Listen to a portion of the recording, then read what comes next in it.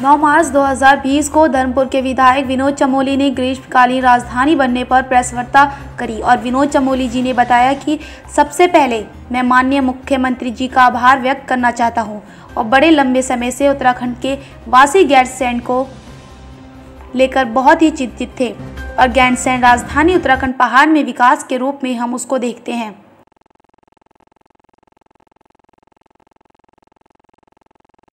सबसे पहले तो मैं माननीय मुख्यमंत्री जी का आभार व्यक्त करना चाहता हूँ।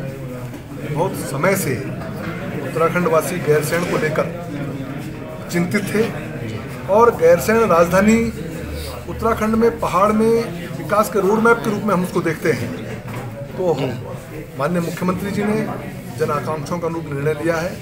गैरसैंण को राजधानी घोषित किया। इसके लिए पूरे उत्तराखंड के तमाम आंदोलनकारी, तमाम उत्तराखंडवासी माननीय मुख्यमंत्री जी के आभारी हैं और मैं इसको इस रूप में देखता हूँ कि जो पहाड़ पर बार बार आज उन्नीस साल बीतने के बाद भी जब भी हम लोग बात करते हैं हालाँकि बहुत कुछ हुआ है ऐसा नहीं कि नहीं हुआ है लेकिन बहुत कुछ होना बाकी है और वहाँ के लोगों की बहुत सारी अपेक्षाएँ अपनी सरकारों से रहती हैं। मैं समझता हूँ कि हमने एक कदम आगे बढ़ाया है और इसके अच्छे परिणाम आए कांग्रेस में आपने निशाना साधा कांग्रेस ने कहा कि हम दो हज़ार बाईस में सत्ता में आते तो हम राजधानी देखिए कांग्रेस में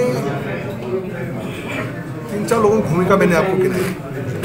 सतपाल महाराज की भूमिका क्या है? गिनाई, आज वो भारतीय जनता पार्टी का नेतृत्व कर रहे हैं, वो हमारे कार्यकर्ता हैं। विजय बहुगुणा जी की मैंने भूमिका गिनाई, वो आज भारतीय जनता पार्टी का नेतृत्व कर रहे हैं, हमारे नेता हैं, भारतीय जनता पार्टी के कार्यकर्ता हैं। मैंने हरीश रावत जी की बात भी की है वहाँ लेकिन हरीश रावत जी को प्रदेश की जनता ने नकार दिया दो दो बार चुनाव हरा दिया है। दो जगह से एक बार रहा तीसरी बार, एक बार, क्योंकि वो अपनी बातों पर बात तो करते हैं, लेकिन खड़े नहीं उतरे लोगों को ऐसा लगा हो मैं खुरी जी उस क्षेत्र से हमारे विधानसभा के उपाध्यक्ष रहे हैं, वहाँ पर उसी क्षेत्र की जनता ने वो बार बार गैरसैन की बात करते रहे, तब भी उनको हराया।